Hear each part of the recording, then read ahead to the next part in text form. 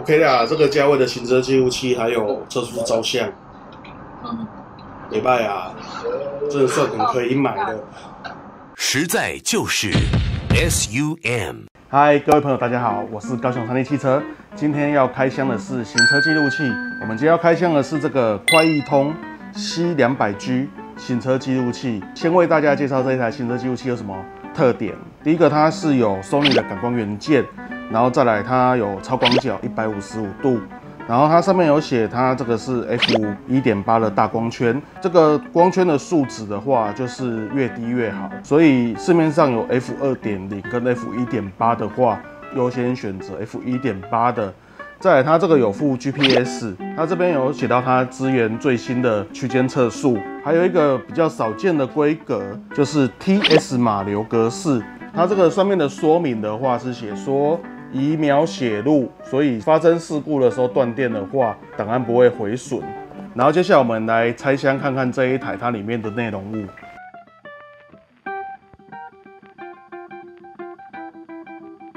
里面内容物是长这样子 f r e e 可以安装在前挡玻璃，然后是用实验的胶，行车记录器的线看起来是蛮长的啦，所以。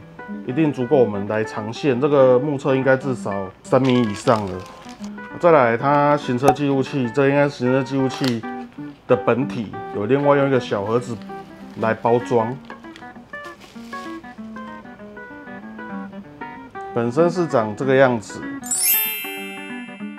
接下来我们等一下就是来安装测试，然后它里面有附一张十六 G SanDisk 的的记忆卡。啊，这个大家在一般的通路都买得到，这台是在灿坤门市买的。现在要来装我们的行车记录器啦，装完之后就可以来试画质了。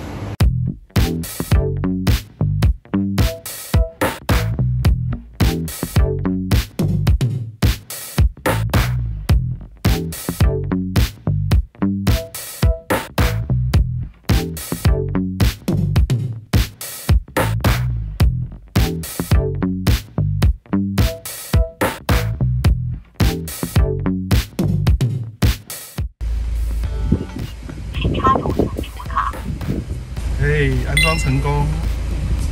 来，接下来我们直接在隧道里面看它的画面。隧道算是比较极端的测试环境，它虽然环境很明亮，但是它整体而言的话，它光影变化是很多的。我们可以看到说，车牌虽然看不到了，但是它整体的光线、光影是拍得很清楚。包括说隧道里面的号志，我们可以看到。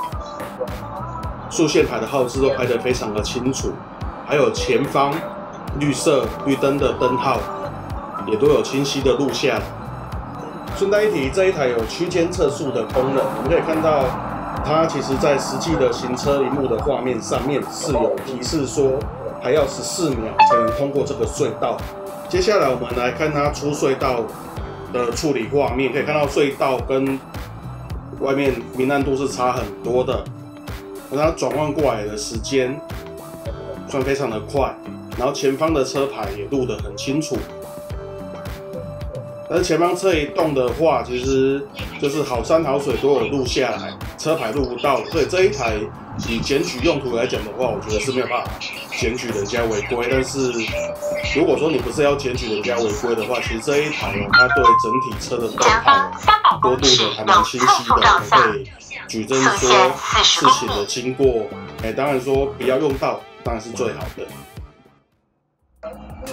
来，接下来我们来看到晚上实际的画面，我们可以看到它其实有 Sony 的镜头跟 f 一点八的光圈，旁边一些住家的景物其实也都拍得到，包括对面那种左边那一边霓虹灯。那么的闪烁，它也是可以很清晰的拍得下来。所以这一台它其实，我觉得以行车记录器整体它录下来的结果是蛮好的。但是说晚上车牌要录得到是没有那么简单的。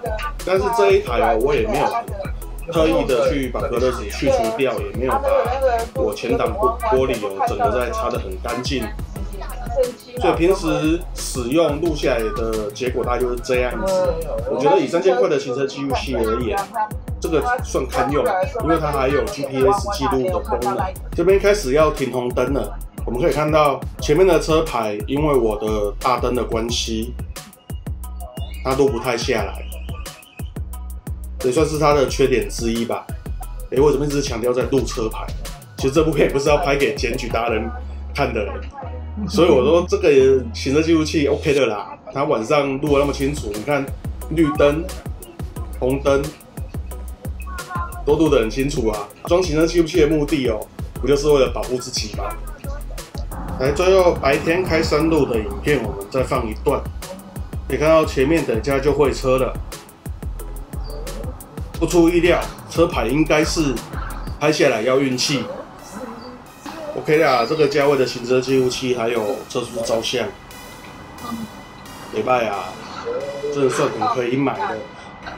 又是国产的品牌，快易通哎，它不是只做翻译机，行车记录器竟然也意外的不错，推荐大家要支持国货，谢谢大家。实在就是 S U M。